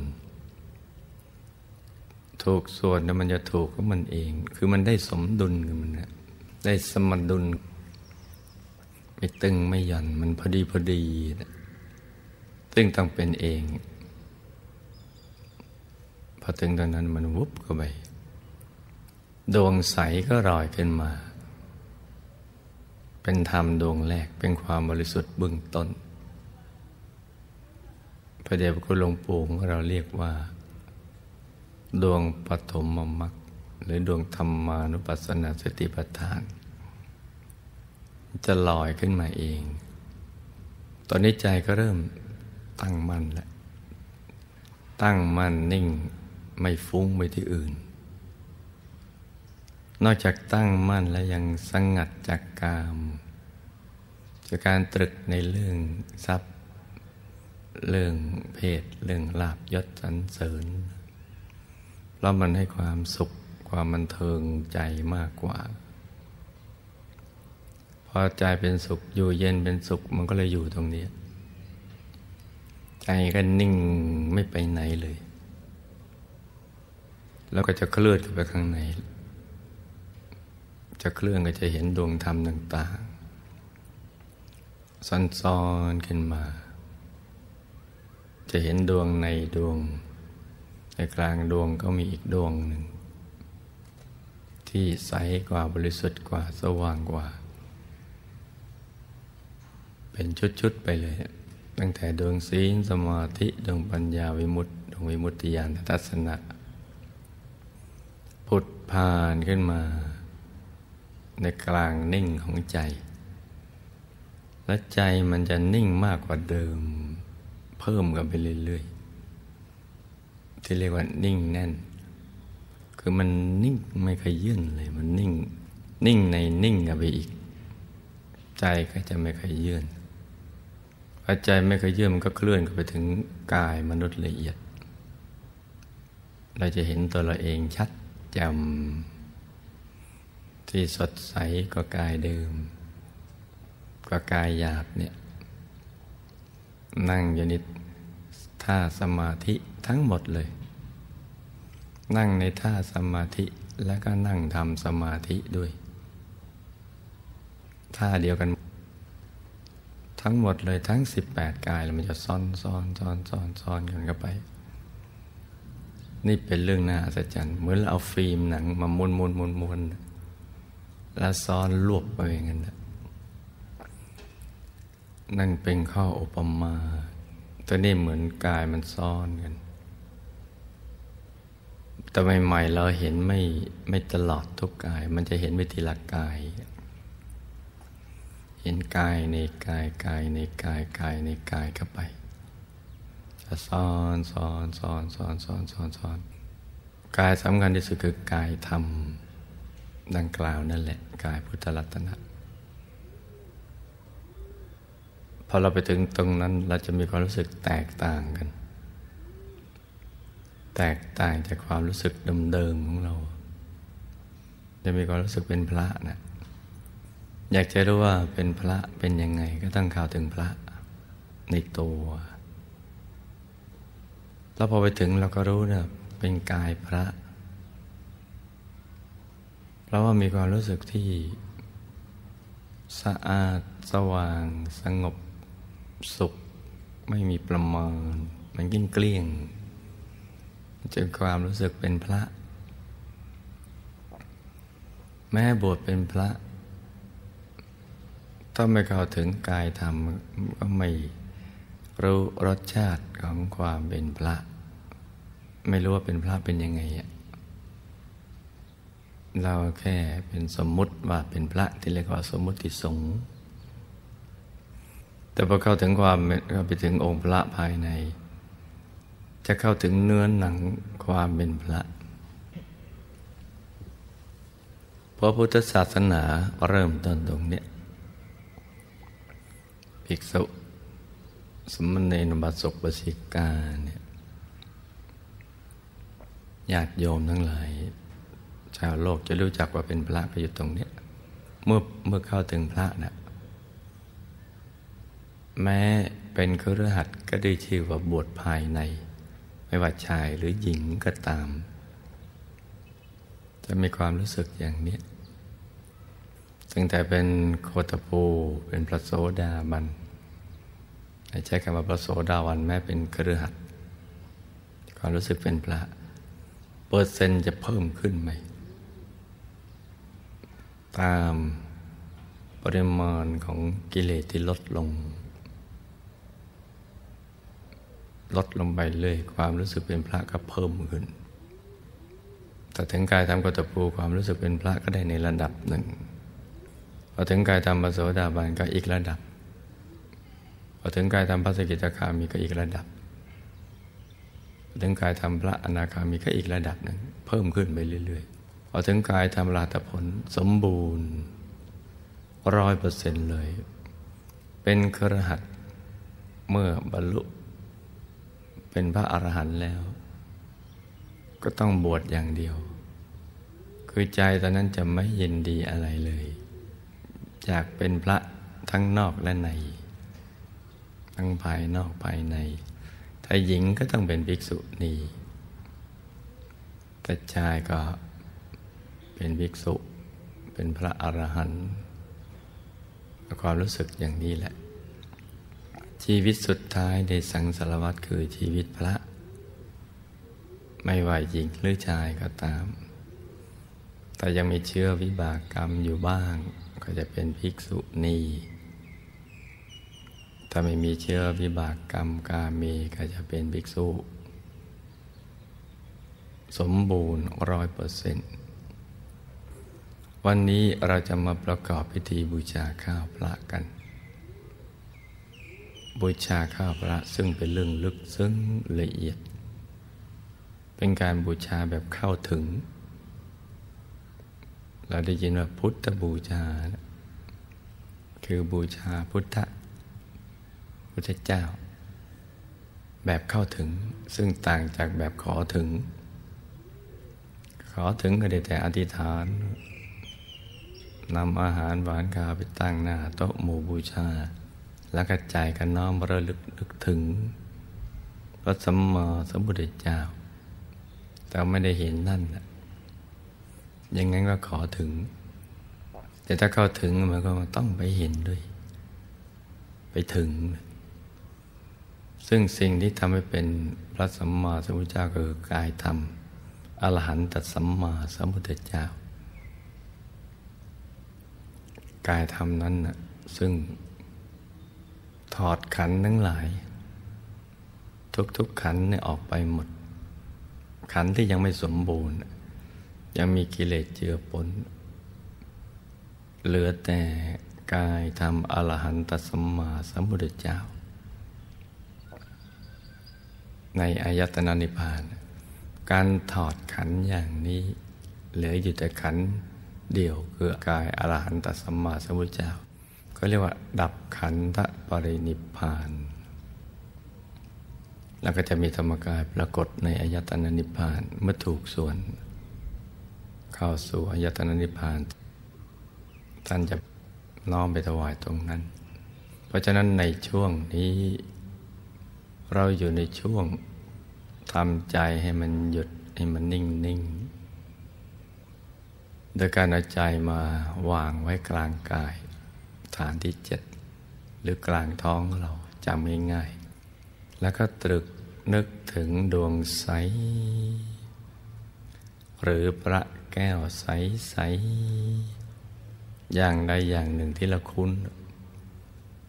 ลักษณะคล้ายๆอย่างนั้น ใหม่ๆเหมือนมองท็อปอยู่ เหมือนด้านบนด้านหน้าล่าง นั่นใหม่ๆจะเป็นอย่างนั้น แต่ถ้าทำเป็นแล้วมันเห็นรอบทิศทุกทิศทุกทาง ซึ่งตรงนี้เป็นปัจจัตตัง ถึงตอนนั้นก็รู้เองเห็นเองเป็นเองแหละ ในตอนนี้เราก็นึกอย่างนี้ให้ใจนิ่ง เพราะหยุดเป็นตัวสำเร็จนะลูกนะ แล้วก็ประคองใจด้วยบริกรรมภาวนา สัมมาอรหัง สัมมา อรหัง สัมมาอรหัง ภาวนาไปเรื่อยๆ อย่างเบาสบาย ผ่อนคลาย จนกว่าใจเราไม่อยากจะภาวนาต่อไปเนะี่ยอยากจะอยู่เฉยๆ ถ้าเกิดความรู้สึกอย่างนี้เนี่ยเราก็ไม่ต้องย้อนกลับมาภาวนาใหม่ ให้รักษาใจหยุดกับนิ่งอย่างเดียว ให้รวมใจของเราไปหยุดนิ่งๆที่ศูนย์กลางกายฐานที่เจ็ดอย่างสบายสบายกัน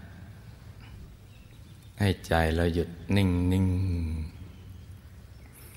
นิ่งนิ่งนุ่มนุ่มละมุนละไมสบายสบายค ราวนี้เนี่ยสำหรับท่านที่มาใหม่ ยังทำไม่ได้ ก็เราก็นึก นึกอธิษฐานให้ตัวเราขยายใหญ่ขึ้น หรือทำความรู้สึกว่าตัวเราเนี่ยขยายใหญ่ ขยายใหญ่ขึ้นไปเรื่อย ๆ กระทั่งเต็มศาลาหรือทำความรู้สึกให้ขยายกว้างไปกว่านั้น จนสุดขอบฟ้านะครับ หรือเท่าที่เราจะทำได้ แล้วก็นึกน้อมเอาดอกไม้ทูบเทียนอาหารหวานข้าว เครื่องทยธรรมที่ตั้งอยู่ข้างหน้าเราเนี่ย น้อมเอาไว้ในกลางกาย คือนึกนิดเดียว นึกนิดเดียว ไม่เห็นไม่เป็นไร เพราะเราเพิ่งจะมาใหม่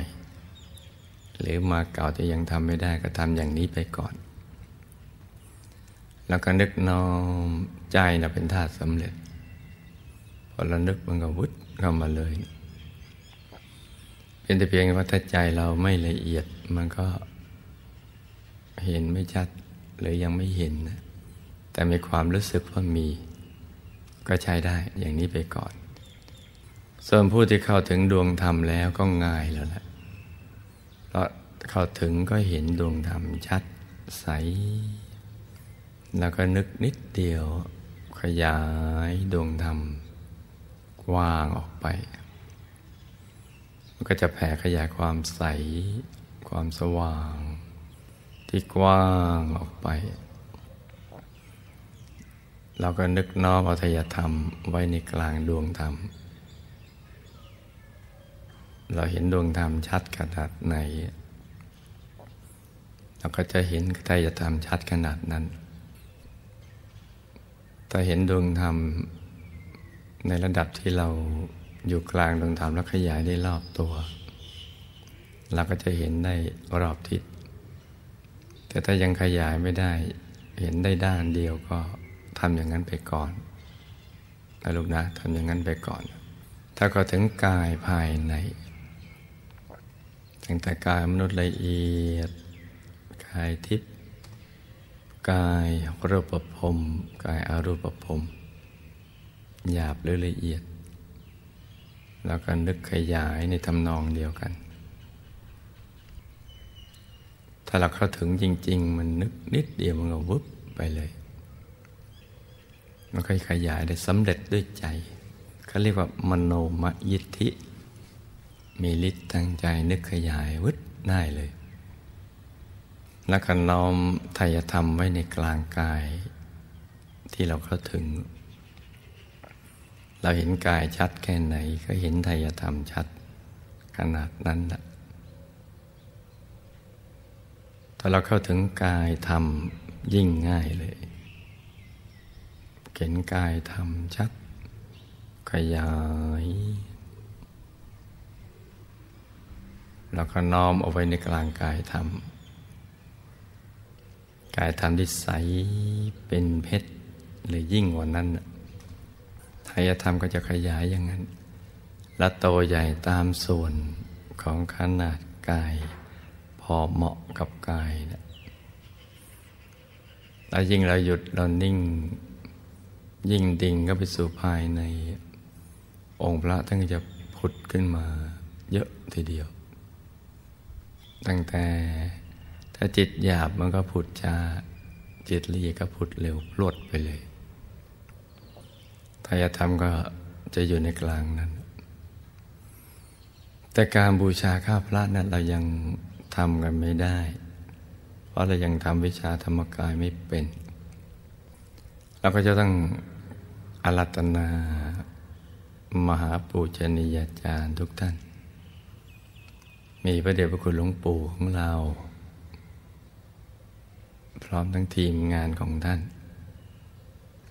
มีคุณยาจารย์นะมหารัตนอุบาสิกาแจงคนนกยู มารัตนอุบาสิกาทองสุขสำแดงปั้นเป็นต้น ซึ่งทีมงานของหลวงพระเดชพระคุณหลวงปู่ท่านก็มีอยู่ ไปถวายเป็นพุทธบูชาแด่พระธรรมกายของพระพุทธเจ้า ตอนที่พระสัมมาสัมพุทธเจ้าทรงมีพระชนชีพอยู่ ถวายท่านองค์เดียวกับ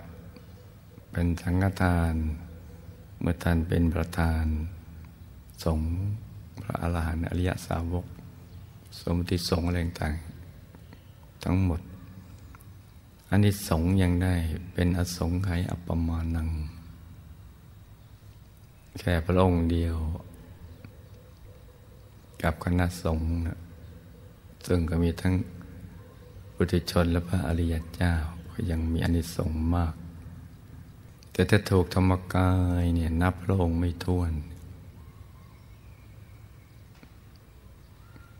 เครื่องทายธรรมดอกไม้ทูบเทียนอาหารผันกาก็พลึบไปหมดเลยเนี่ยบุญก็มหาศาล บุญเป็นพลังแห่งความบริสุทธิ์ พลังแห่งความบริสุทธิ์ ที่จะไปสู้ลบปลบมือกับพลังแห่งความไม่บริสุทธิ์ของอกุศลธรรม ที่เข้ามามาทำให้เรามีอุปสรรค มีวิบากกรรม ติดกันมานะข้ามชาติเลย แต่ละชาติก็ทำกันมาไม่น้อยเนี่ยยามที่อกุศลก็สิงจิตกระทำความผิดด้วยกายวาจาใจ แล้วก็มีวิบาก ทั้งๆทที่รู้ก็มีไม่รู้ก็มีนะ ชาติหนึ่งก็เยอะสิบชาติก็ยิ่งมาก ร้อยชาติ มันก็มียาวทีเดียวแหละเยอะพันหมื่นแสนล้านญาติ ยิ่งเยอะ ตราบใดที่เป็นมนุษย์อยู่มันก็จะมีโอกาสทำอย่างเงี้ยถ้านับพบนับชาติไปทั่วมันก็มากมายทีเดียวแหละ มันจะเป็นผังสำเร็จ ที่เขาปรับคดีนะพยามารเขาเอากิเลสมาบังคับ ให้สร้างกรรมแล้วมีวิบากนั่นนับกันยาวทีเดียว บางอย่างก็ใช้หมดไปแล้ว บางอย่างก็ไม่หมด แค่คำว่าบางอย่างนี่สองคำนี้แต่มันคลุมไปนับประสงค์ไขเรื่องไม่ทวน บางอย่างหมด บางอย่างเกือบหมด บางอย่างไม่หมด บางอย่างสร้างใหม่เนี่ยทั้งหมดมันเป็นผังสำเร็จเซตโปรแกรมติดติดติดกันมาเลยเนะอยู่ในกลางของแต่ละกาย ของกายแต่ละชาติ เรานึกติดแต่ละชาติ หน้าตาก็เป็นเหมือนยุคนี้นะทำดีแล้วก็มีดวงบาปติดมา ซ้อนๆกันบางบากรรมบางอย่างก็หนักก็มืดมากถ้าทำทีอาจินกรรมก็ยาวเยอะแยะเลย บุญก็ทำนองเดียวกัน ถ้าทำมากบุญก็สว่างดวงใหญ่ พลังเยอะ ถ้าทำทีก็ยาว บุญกับบาปเนี่ยเรามันจะสู้กันจะตัดหลอนกัน เพราะนั้นพระเดชพระคุณหลวงปู่เขาจะจะคุมบุญให้พวกเราเอามาแก้ไขวิบัติบาปศักดิ์สิทธิ์วิบากกรรมวิบากมารอุปสรรคต่าง ๆ นานาในชีวิตที่มันติดมาเนี่ยหนักเป็นเบาเบาเป็นหาย แล้วก็ตั้งผังสำเร็จใหม่ ที่จะดีไซน์ออกแบบชีวิต ติดไปในภพเบื้องหน้า ตามกำลังดวงปัญญาของแต่ละคนและตามกำลังบุญเนี่ยมีความรอบรู้แค่ไหนก็ อธิษฐานจิตตั้งผังสำเร็จไปได้แค่นั้น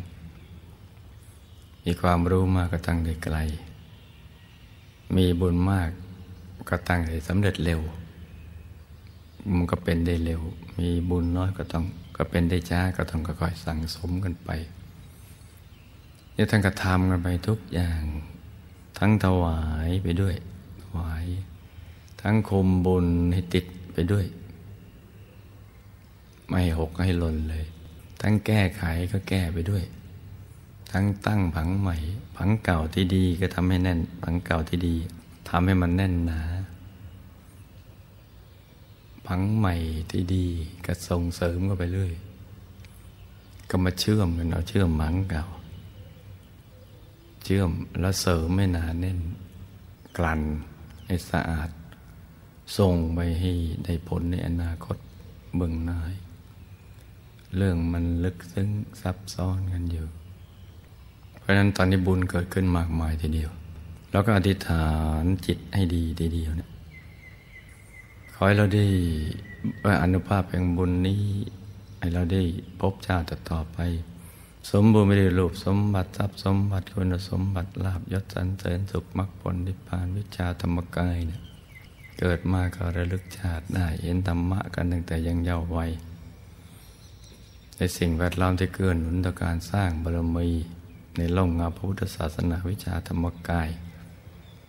แล้วก็สร้างบารมีเรื่อยไปเลย ตั้งแต่เกิดจนกระทั่งหมดอายุไขไปทุกภพทุกชาติ ตราบกระทั่งถึงที่สุดแห่งธรรม อธิษฐานลวดเดียวม้วนเดียวจบกันไปเลย แล้วก็เราอยากจะอธิษฐานและเพิ่มเติมแล้วก็อธิษฐานเสริมมันเข้าไป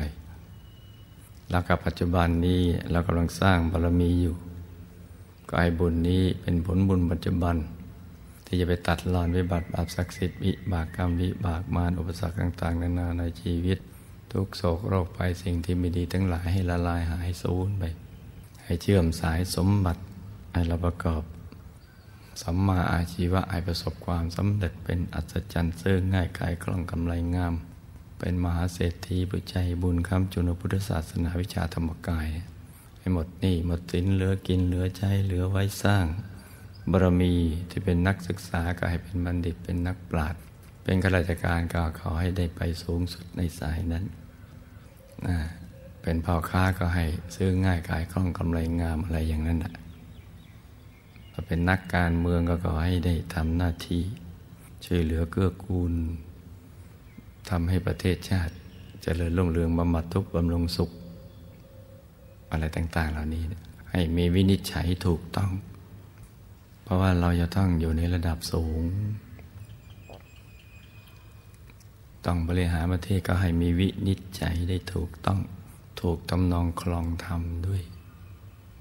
ที่จะนำประเทศชาติสู่ความเจริญรุ่งเรืองในวินิจฉัยอะไรเนี่ยที่จะจัดสินไปแล้วจะทำให้เกิด ทุกทรมานต่อเพื่อมนุษย์ ทั้งในมนุษย์และในพลโลก ก็ขออย่าให้เราตัดสินใจทำอย่างนั้น สิ่งอะไรที่เป็นประโยชน์สุขทั้งในปัจจุบันและในอนาคต ทุกภพทุกชาติในเราวินิจฉัยตัดสินใจ ทำกันให้ได้อย่างนั้น ให้มีดวงปัญญาครอบคลุม มีกำลังใจกำลังกายอะไรต่าง ๆ เหล่านี้เราก็อธิษฐานจิตของเราไป ตั้งใจหลับตาเจริญสมาธิภาวนากัน หลับตาเบา ๆ พอสบายสบาย หลับตาเบาๆพอสบายสบาย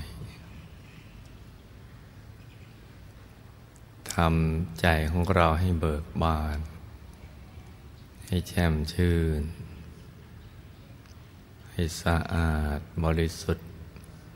ผ่องใสไร้กังวลในทุกสิ่ง หยุด ใจไปที่ศูนย์กลางกายฐานที่เจ็ดอย่างสบายสบายพร้อมกับผ่อนคลายทุกส่วนของร่างกายของเรานะจ๊ะ หยุดนิ่งนิ่งให้ตรึกนึกถึงดวงใส หรือพระแก้วใสใส อย่างใดอย่างหนึ่ง ในสองอย่าง ไม่ชัดก็ไม่เป็นไร แต่อย่าไปตั้งใจเกินไป ค่อยๆ ประคองใจให้หยุดนิ่ง ๆ อยู่ภายใน วัตถุประสงค์การนึกถึง ดวงใส องค์พระใสใสก็เพื่อให้ใจของเราเนี่ยกลับ มาหยุดนิ่งที่ศูนย์กลางกายฐานที่เจ็ดซึ่งเป็นต้นทาง ที่จะไปสู่อายตนะนิพพาน และก็เป็นต้นทางที่เราจะเข้าถึงพระรัตนตรัยในตัว ซึ่งเป็นที่พึ่งที่ระลึกอย่างแท้จริงของเรา ให้หยุดใจเบาๆ สบายๆแล้วก็ผ่อนคลาย ฝึกกันให้ได้อย่างนี้ทุกๆวัน อย่าขาดเลยแม้แต่เพียงวันเดียว เพราะว่านี่คือกรณียกิจ เป็นงานที่แท้จริงของเรา ที่เราเกิดกันมาเป็นมนุษย์นี้ สิ่งที่เราปรารถนานะมีรวมประชุมอยู่ในพระธรรมกายในตัวของเราทั้งสิ้นนะเพราะฉะนั้นมันฝึกฝนอบรมใจของเราไปทุกวัน ไม่ว่าวันนั้นจะเหนื่อยจะเพลีย จะง่วงจะเจ็บไข้ได้ป่วย ภารกิจเยอะก็ตาม ให้ตั้งใจปฏิบัติธรรมกันไปเถิด เรามาเกิดเพื่อการนี้วัตถุประสงค์อื่นยังเป็นเครื่องรองลงมานะแต่การเข้าถึงวรัตนตรัยนี่เป็นเรื่องหลัก แล้วก็เราสามารถเข้าถึงได้ ถ้าเรามีความเพียรอย่างต่อเนื่อง แล้วก็ทำให้มันถูกหลักวิชาถ้าได้อย่างนี้เราก็จะสมหวังกัน ทุกๆคน เราจะตรึกระลึกนึกถึงบุญทุกบุญ ที่เราทำผ่านมา จนกระทั่งมาถึงวันนี้นะให้บุญทั้งหมดมารวมกันเป็นจุดเดียวกัน และเราก็จะได้อธิษฐาน อธิษฐานจิต ตั้งผังสำเร็จของเราไป เป็นอธิษฐานบารมี ให้รอบคอบ เพื่อจะได้บุญนี้จะได้เป็นเครื่องส่งเสริมสนับสนุน ให้การสร้างบารมีของเราเนะี่ยมันยิ่งยิ่งเงินไป เมื่อเรามีเป้าหมายของชีวิตจะไปสู่ที่สุดแห่งธรรม เราก็ต้องสั่งสมบุญให้มาก ๆ บุญจะสั่งสมได้มากก็ต้องมีอุปกรณ์ ในการสร้างบุญให้มากให้สมบูรณ์เป็นมีรูปสมบัติทรัพย์สมบัติ คุณสมบัติลาบยศสรรเสริญสุขมรรคผลนิพพานวิชาธรรมกาย เป็นต้น อย่างนั้นก็ต้องมีรูปสมบัติทรัพย์สมบัติคุณสมบัติ บริวาร สิ่งแวดล้อมสิ่งเกื้อหนุนการปฏิบัติธรรม การสร้างบารมี ในภพชาติต่อกันไป สิ่งเหล่านี้ก็ขึ้นอยู่กับปัจจุบันนี้แหละ ที่เราจะต้องประกอบเหตุ ประกอบเหตุด้วยการสั่งสมบุญบารมีให้ดีเมื่อมีบุญแล้วก็ต้องอธิษฐานจิตให้รอบคอบ อธิษฐานให้รอบครอบ เพื่อที่ว่าเราจะได้ไม่พลัดหลงจากหมู่คณะ ไปที่อื่น หรือมัวแต่เพลิดเพลินอยู่ในทางโลก กับอธิษฐานเอาบุญมาช่วย ชีวิตปัจจุบันซึ่งกำลังสร้างบารมีอยู่ ให้เราสมบูรณ์ ด้วย โภกทรัพย์สมบัติ ในการประกอบสัมมาอาชีวะ มีสุขภาพร่างกายแข็งแรงครอบครัวอยู่เย็นเป็นสุข ประพฤติทำกันได้พบพระธรรมกาย ให้หมดหนี้สินเหลือกินเหลือใช้ เหลือไว้สร้างบารมีเป็นต้น เพราะฉะนั้นเนี่ยตอนช่วงนี้เนี่ยเป็นช่วงที่สำคัญเนี่ยลูกนะ อย่าส่งใจไปที่อื่นให้ประคองใจไว้ในตัว และนอกจากนี้แล้ว เราก็จะต้องนึกถึงบุญ อุทิศส่วนกุศลไปให้บรรพบุรุษบุปการีหมู่ญาติของเรา พ่อแม่ปู่ย่าตายาย ญาติสนิทมิตรสหายผู้ที่เป็นที่รักของเราที่ละโลกไปแล้วนะไปอยู่ในภพภูมิต่างๆ ไม่ว่าสุคติภูมิหรือทุกติภูมิ ล้วนต้องการบุญ ที่เราจะอุทิศไปให้นี้ทั้งสิ้น ถ้าในทุกติภูมิที่มีทุกข์มาก ท่านก็จะได้ทุกข์น้อย มีทุกข์น้อยก็จะได้พ้นทุกข์ถ้าในสุขติภูมิที่มีสุขน้อยก็จะได้สุขมาก ที่มีสุขมากแล้วก็จะได้มากเพิ่มขึ้นไปเรื่อยๆ โดยเฉพาะในอวัยภูมิ บางภพภูมิเนี่ยเราอุทิศไปด้วย วิธีธรรมดาไปไม่ถึงหมู่ญาติ เพราะว่า กำลังของเรามันไม่ถึง จะต้องอาศัยวิธีพิเศษ ซึ่ง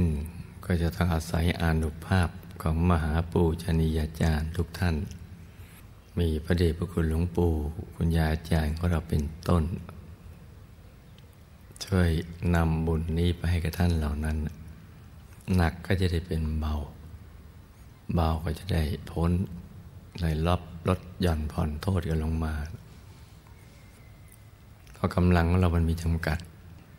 กำลังของท่านมันไม่มีจำกัด กับการอุทิศบุญให้กับคู่กรรมคู่เวรของเรา ที่เราเคย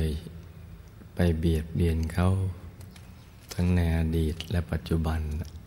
อดีตก็นับพบนับชาติไปทุนปัจจุบันนี้ก็มีอยู่ ในยามที่อกุศลเข้าสิงจิตเพราะตัวเราหรือกายมนุษย์เนี่ยมันเหมือนกับเป็นสนามประลองยุทธระหว่างบุญกับบาปเนะี่ยมันอยู่ในตัวเรานี่แหละ เพราะฉะนั้นเมื่อเราได้เบียดเบียนเขาด้วยกายด้วยวาจาด้วยใจ มันก็มีวิบากกรรมนะเป็นผล ซึ่งทำให้มาเป็นอุปสรรคในชีวิตของเรา อุปสรรคในการสร้างบารมีของเรา แต่มันก็มีวิธีทางที่จะผ่อนหนักเป็นเบาเบาเป็นหายเนี่ยก็คือจะต้องอุทิศบุญที่เราสั่งสมไว้เนี่ย เอาไปใช้ตรงเนี้ย อุทิศไปให้เขา บุญนี้ก็จะไปชำระล้างบาปอกุศล ที่ผูกเวรกรรมกันน่ะหนักเป็นเบาเบาเป็นหาย แต่เราก็ต้องทำบ่อยๆ ซ้ำๆกันไปจนตลอดชีวิตนั่นแหละ เพราะว่าคู่กรรมคู่เวรของเรา มันมีมาก มีมากเพราะว่า เราเวียนว่ายตายเกิดมานับพบนับชาติมีทวนมันก็ต้องทำตลอดเวลาละเรื่องบุญ จนหมดอายุไข แล้วก็ต้องอุทิศไปเงี้ยตลอดเวลานะหนักจะได้เป็นเบาเบาจะได้หายเป็นอโหสิกรรมกันไป ซึ่งมันก็จะมีผลดีต่อการสร้างบารมีของเราต่อไปในภพเบื้องหน้า และบางอย่างเนี่ยเราไม่เบียดเบียนผู้อื่น แต่เบียดเบียนตัวเอง แม้เบียดเบียนตัวเองก็มีวิบากกรรมรองรับ นี่มันเป็นเรื่อง ที่เราหลีกเลี่ยงไม่ได้ เป็นของมันมาอย่างนั้นเพราะว่ายามารเขาจะมึงคับบัญชาอยู่ บุญที่เราทำนี่แหละ ก็ต้องเอามาใช้ตรงนี้อีกส่วนหนึ่งอีก ที่จะมาแก้ไขวิบากกรรม วิบากมารส่วนตัวนี่แหละ ที่เราก็ไม่เข้าใจว่าเราทำส่วนตัว และมันทำไมมีผล ได้ชื่อว่าเป็นผู้เบียดเบียนตนเอง แล้วก็มีวิบากกรรม ตรงนี้เนี่ยมันก็มีอยู่นี่เป็นของส่วนตัว ก็ยังก็ต้องเอามาใช้ตรงนี้อีก ก็แปลว่าชาติหนึ่งที่เกิดมาเนี่ยที่เราจะได้บุญเน็ตเน็ตโดยไม่ต้องเอาไปใช้ แก้ไขเกี่ยวกับเรื่องวิบากกรรมต่างๆเนี่ยยังไม่เคยมีเลย ดังนั้นมันถึงทำให้เราต้องเวียนว่ายตายเกิดนับพบนับชาติกัน ไม่ว่าจะทำบุญหรือบาปล้วนมีผลอันยาวนานทั้งสิ้น บุญก็ส่งผลยาวนาน บาปก็ยาวนาน แต่บาปยาวนานกว่า ตรงนี้แหละ ที่เรายังขาดแคลนความรู้ตรงนี้ และความรู้นี้ไม่รู้ก็ไม่ได้ รู้แล้วไม่แก้ไขก็ไม่ได้อีกเหมือนกันไม่แก้ไขมันก็จะเป็นอยู่อย่างนี้เลื่อยกันไปเลย ทีนี้มันมีวิธีย่นระยะเวลาชีวิตในสังสารวัฏที่จะให้ไปถึงจุดหมายปลายทางที่เราปรารถนาร่วมกันอย่างรวดเร็วเนี่ยก็คือต้องละชั่วทำดีอย่างเดียว แล้วก็ทำใจให้บริสุทธิ์ผ่องใส ตามคำสอนของพระสัมมาสัมพุทธเจ้าแต่ละชาติที่เกิดมาต้องทำอย่างนี้ ถ้าหากเราไม่ปรารถนาที่จะอยู่พันนีวัตตะ ก็ต้องทำอย่างนี้ตลอดเรื่อยๆ แม้อยู่พันนีวัตตะ ก็ยังต้องทำอย่างนี้ ละชั่ว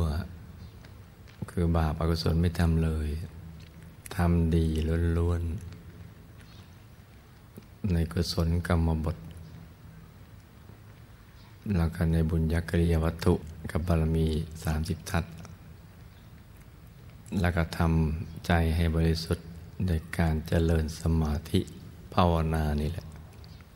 คือถ้าชาติไหนเกิดมาทำอย่างนี้อย่างเดียว พบชาติข้างหน้ามก็ยืย่นเวลาลงมา ถ้าเราทำพร้อมๆกันไปเป็นทีม